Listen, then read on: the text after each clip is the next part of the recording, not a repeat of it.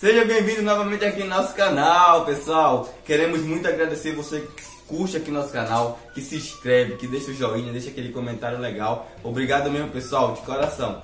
Pessoal, no vídeo de hoje nós vamos fazer uma receita super da hora.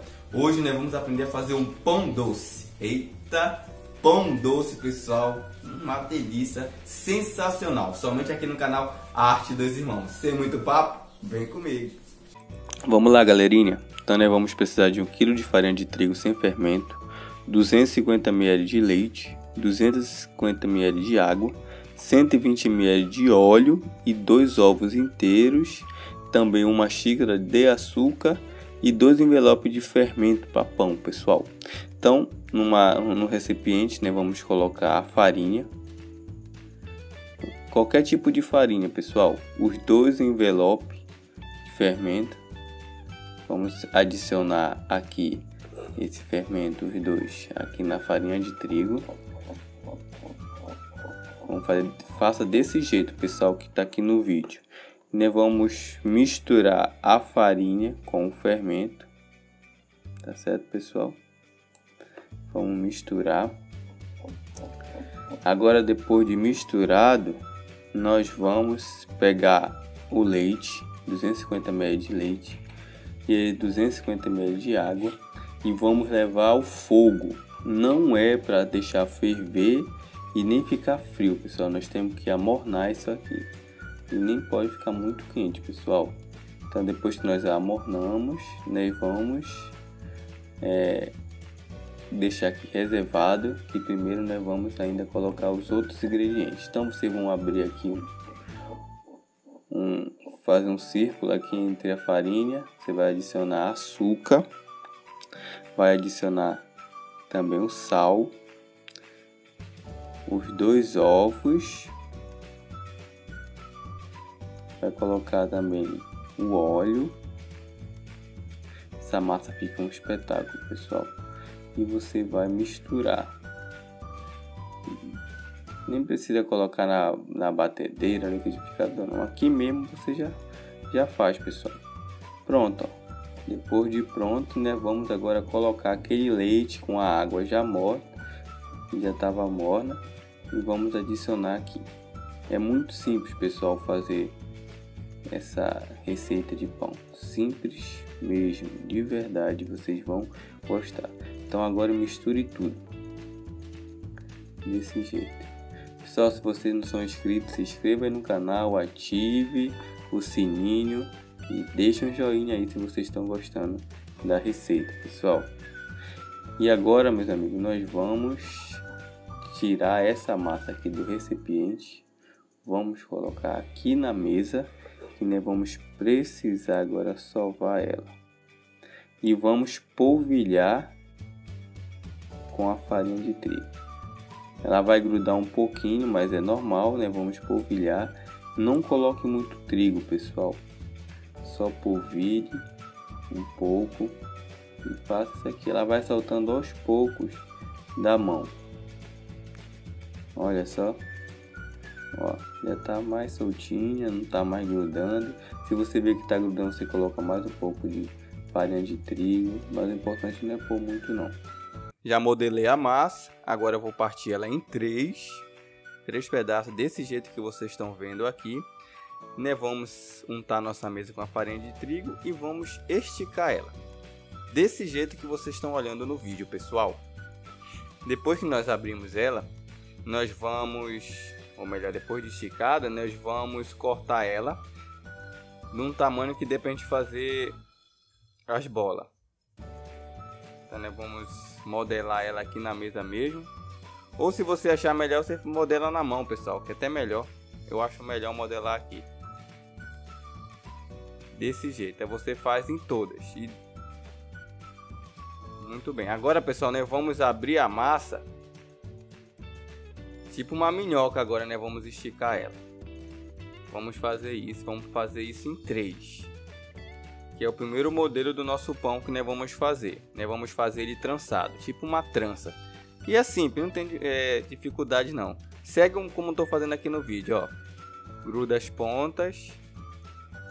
Vamos pegar agora terceira parte, vamos colocar aqui, vamos fazer uma trança, ó. Desse jeito aqui, pessoal, olha. Um pra lá, ó, um pra cá, um pra lá. Olha como é simples, pessoal, não tem segredo. Bem prático, tá vendo? E fica bem bonito, pessoal, bem legal mesmo. Muito bonito, eu achei. Olha como ficou, uma trança. Bem simples. Vamos colocar agora aqui na forma. Colocar aqui na forma, calma aí, deixa eu ajeitar. Pronto.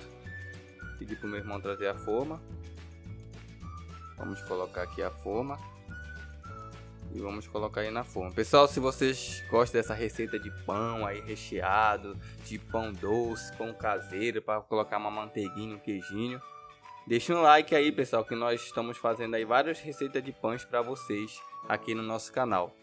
Se vocês não são inscritos, se inscreva aqui no canal, ative o sininho, Deixe um comentário super legal aí que nós vamos fixar o seu comentário como o melhor desse vídeo, tá certo? O melhor comentário desse vídeo. E vamos fazer do mesmo jeito que nós fizemos do outro, o mesmo processo, fazer a trança, um para lá, um para cá, desse jeito. É simples, pessoal, não tem dificuldade. Pronto, mais um feito agora. Agora o próximo o próximo processo que nós vamos fazer, pessoal, né? Vamos esticá-la novamente. Vamos abrir ela, tipo fazer uma minhoca, pessoal. E nós vamos agora fazer um outro formato. Um outro formato. Vamos fazer aqui. E esse formato é tipo um caracol. Desse jeito, pessoal. Não deixe, pessoal, muito aberto ou muito fechadinho não, porque a gente vai precisar pôr o recheio. Né? Vamos precisar pôr o recheio. Desse, desse jeito aqui. Um vai ficar maior porque a massa está um pouco grossa do, do que eu fiz.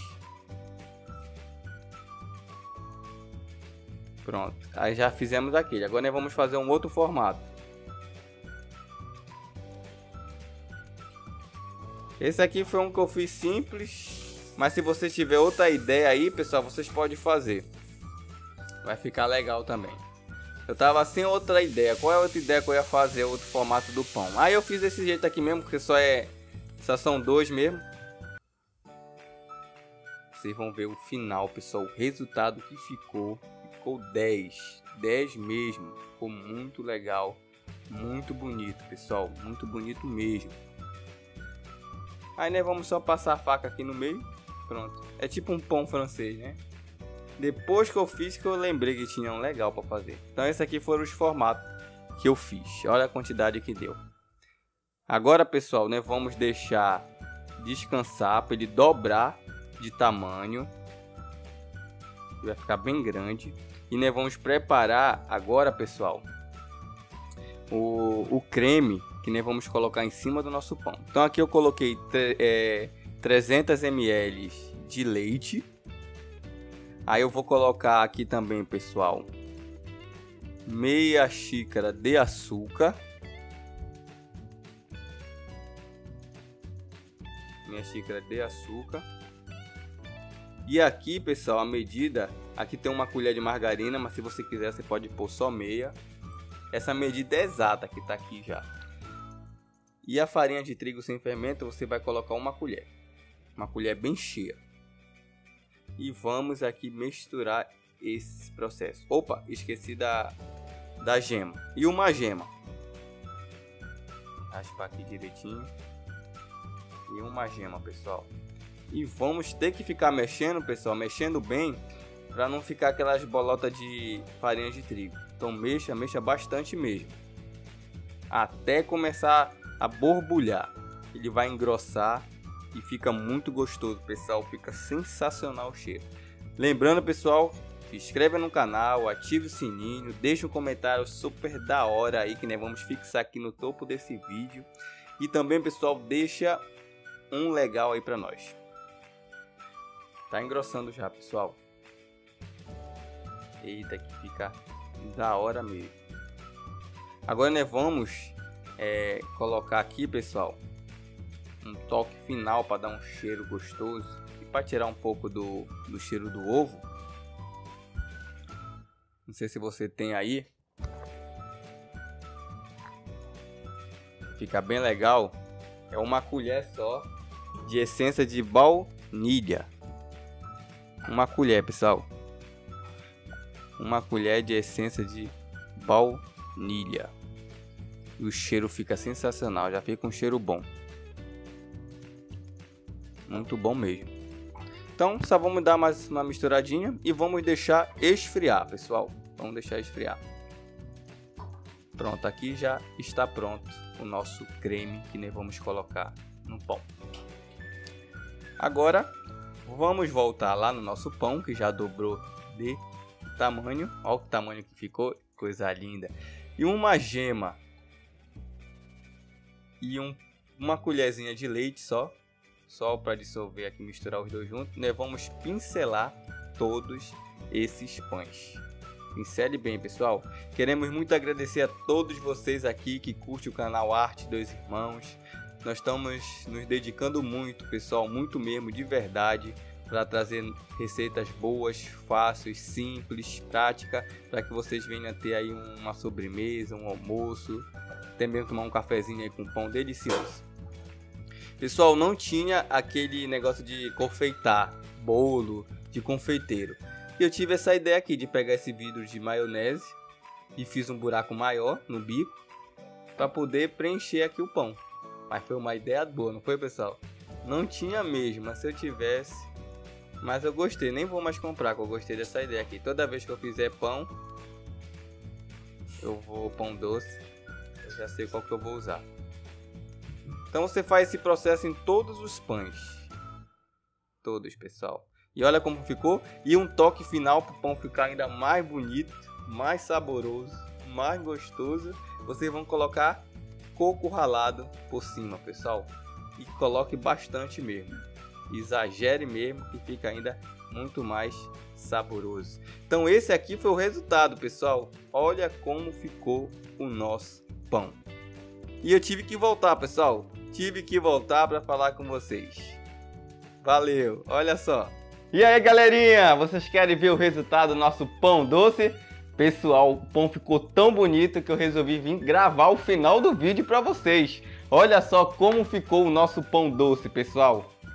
Ficou um espetáculo, uma delícia, o cheiro vai longe, delicioso mesmo. Pessoal, vocês podem fazer esses pão doce aqui, ó, para vocês ganharem dinheiro, vender aí, vender aí para os seus vizinhos. E é um, vai ganhar dinheiro mesmo, porque o pão fica delicioso, saboroso. E tem outros pães aqui que nós fizemos recheado, pão normal para comer com margarina, manteiguinha, um queijo. Então assista todos os vídeos aí, pessoal. E se vocês gostaram dessa receita, hein? Rapaz, não perde nada e divulga aí para seus amigos. Um forte abraço, valeu!